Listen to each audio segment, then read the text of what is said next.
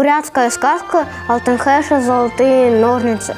В прежние времена жил-был на свете хан. У него был э, сын. И думает хан, сердце у моего сына не злое, а ум небольшой. Ему надо жену найти, чтобы сумела она его на правильный путь наставить и вовремя остановить. Послал он Тушемилых, найдите моему сыну самую хорошую жену. Пусть она будет дочерью последнего бедняка, мне все равно, лишь бы была умна. Отправились Тушемилы всю землю, обыскали. И ехали, ехали, нигде не могут найти девушку. Много девушек встречали, умных много, красивых не, немало. Заглянули они в одну деревню и видят с краю бедную юхту. Возле этой юхты ничего нет. Ни коня, ни коновязи, ни даже столба. К юхте ведь не привяжешь коней. Ходит по округе вокруг юрты. Выглядывает из юрты девушка. И говорит, а что вы не зайдете ко мне? Тушемилы говорят, коней негде привязать. А девушка, девушка смеется над ними и говорит, вот зима, вот лето, привяжите своих коней. Взглянули тоже мело один на другого, не могут понять, как это привязать коней к зиме и лету. Рассердились они на девушку и вернулись к хану невеселые. Хан их спрашивает, нашли мне невестку? А, душемилы говорят, мы все ханство объехали, а, а нигде не могли девушку найти. Все улусы, все деревни объехали. Бедные юрты заглядывали и в богатые заглядывали. С каждой девушкой разговоры вели, а нигде не могли найти умную девушку. В такую бедную и заглянули напоследок, что вокруг этой юрты ничего нет, ни коня, ни коновизи, ни столба, даже нет дерева. И живет в этой юрте какая-то неразумная девушка. И что же она вам сказала, спрашивает хан.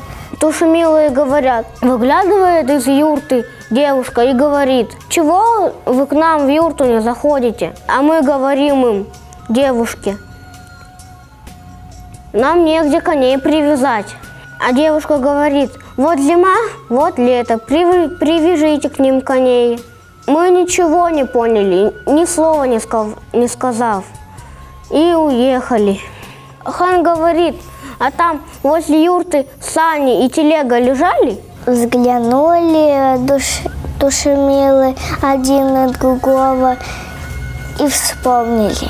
Говорят, как вы узнали об этом, великий хан? Ведь возле этой дранной юхты и вправду лежали сани и телега. Усмехнулся хан и говорит своим душемилам, вы хоть и ханские душемилы, а не поняли этого. Вот вам зима и лето. Он сказал, скажите, где эта девушка живет, я сам к ней поеду. Оседлал он коня и, и приехал он к, к драной юрте. Привязал он коня к э, телеге, зашел в юрту и, и видит там, что в юрте сидят старик со старухой, и также за работой была девушка. Обрадовался хан, хан. Ой, здесь и ум, и красота. Хан спрашивает, девушка, как вас зовут?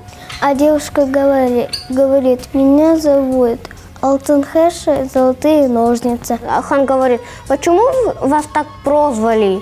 Я все мудрости и хитрости разгадываю, как нить ножницами разрезаю. Хан спрашивает, принеси ко мне веревку из пепла. Старик со старухой сами не свои. Как это их дочка выполнит? Ханский приказ, думает старик со старухой. Алтанхайша говорит, погодите, сейчас я вам принесу. Вышла она из юрты, свела она из соломы веревку. Принесла она ее хану, положила возле хана и подожгла. Сгорела солома и, и осталась веревка из пепла. Хан думает, и умом хорошая, и красивая. Хан дал э, Алтенхэше э, 13 яиц и говорит, «Вы- выведи ко мне 13 цыплят. Хорошо, сказала Алтанхайша, только для цыплят будет нужен корм на эту кашу. Посей ее и вырасти, пока цыплята вылупляются просто. Обмолочи ее, вот и будет корм для цыплят. А старик со старухой сами, сами не свои. Боятся, что из юрты выгонят, сломают юрту. А хан совсем не гневается, только усмехается. Только о себе думает. Никогда такого быстрого ума не видел. Лучше невестки мне нигде не найти. Вернулся хан к отцу Алтанхайши и говорит, давайте свататься. Пусть ваша дочка Алтанхайша будет моей невесткой. Хочу своего сына женить на ней. Старик говорит, когда вы ее заберете, за нами ухаживать никто не будет, кормить нас никто не будет.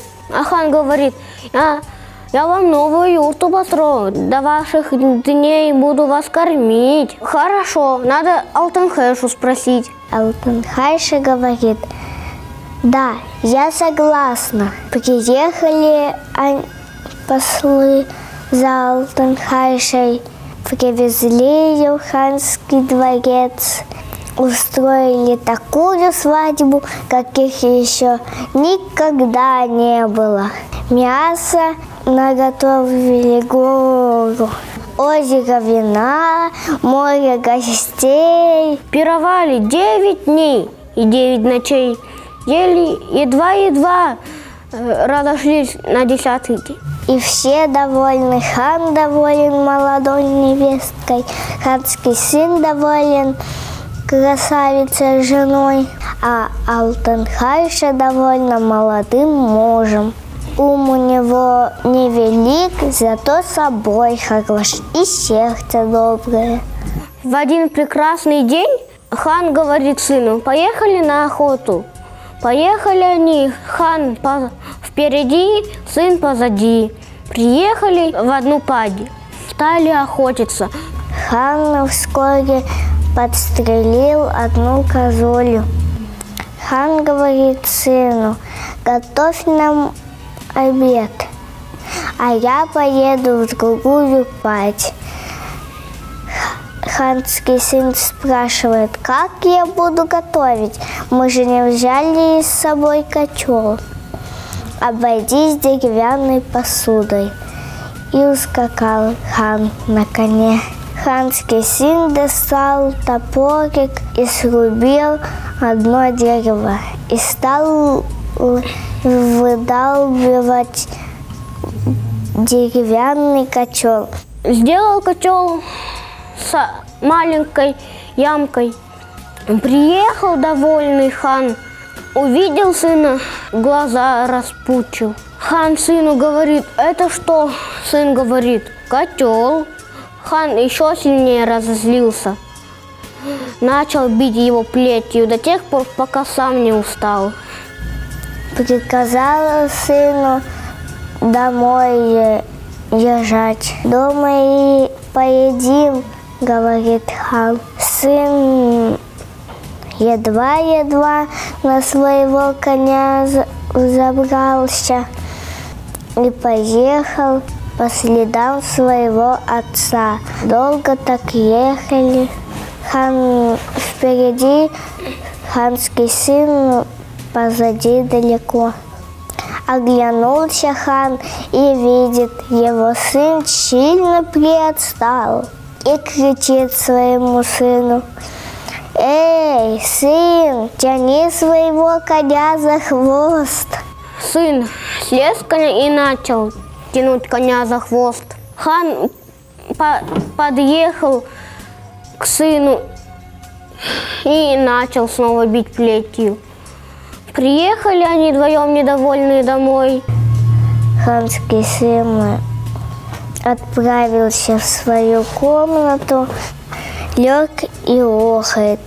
Алтанхайша говорит, что с тобой? Почему ты охаешь? Отец меня во время охоты долго бил. За что же он тебя бил? Спрашивает Алтанхайша. Хан мне сказал сделать посуду из дерева. Вот я и сделал котел. А за что же он бил тебя во второй раз? Спрашивает Алтанхайша. Да, хан сказал мне тянуть своего коня за хвост. Вот я слез с коня и начал тянуть коня за хвост. Выслушала это Алтанхайша и говорит, нет, он совсем не помешался в уме. Это у тебя не хватало ума понять его слова. А как их можно понять? Спрашивает ханский сын. Алтунхейша говорит, когда он велел тебе обойтись деревянной посудой, ты бы нанизил куски мяса на сучок и жарил бы его на костре. Вот тебе и деревянная посуда. А затем он велел мне тянуть своего коня за хвост. Да разве он велел это тебе сделать? Он просто требовал, чтобы ты не отставал и погонял своего коня хорошенько. Старый хан все их разговоры подслушал. Думает он, не обманулся я в Алтенхэше. Нет никого острее умом, чем она. Мои души милые, перед ней глупые и неразумные дети. Могу я теперь спокойно оставить свое ханство? Так, по слову хана и стало. Как умер он, стало править ханство Алтынхэша. Золотые ножницы девушка из бедной юрты.